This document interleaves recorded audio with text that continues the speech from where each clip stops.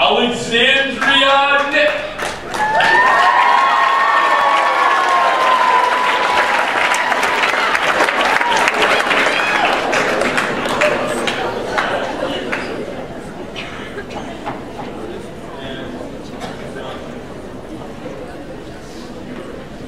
Yeah,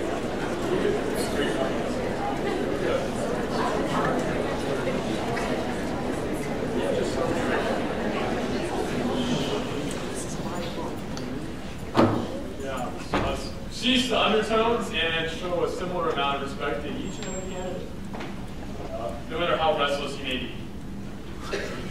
I, Alexandria Knipp, am a drop of water. What if I'm a drop of water that can quench someone's thirst? What if I'm a drop of water that can help a plant grow? What if I'm a drop of water that can join thousands of other drops of water? KUNA 2013, alone we each are drops of water. Together, we are an ocean. My name is Alexandria Knipp, and I have faith that when we stand together, stand strong. Over the next three days, we have the opportunity to be with the brightest minds the state has to offer. We have the opportunity to share our ideas and debate our points of view with some of the most passionate young people from across our Commonwealth. So let's do just that. The UN has set millennium, the UN has set global partnership as a millennium goal, and in 2012 they moved this goal to a top priority. They realized that by coming together to create, um, by coming together to unite, that we can solve all of our problems more easily. The targets presented this goal are to form a financial trade system for undeveloped nations so that they may grow. By accomplishing this target, we would be creating equality and unity between all nations, therefore maximizing the good that we can bring about to our world. If global partnership is achieved, then we can easily go about ensuring universal education. Kofi Annan once said that education is a human right with immense power to transform.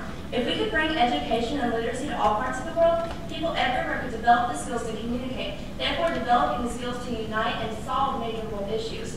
After providing universal education, a major issue that together we as a people could then solve is ending world hunger. Every single person on this earth right now deserves to be fed, to be healthy, and to be full no matter what. And this daunting task will be made 10 times simpler if we can unite with global partnership and grow with universal education.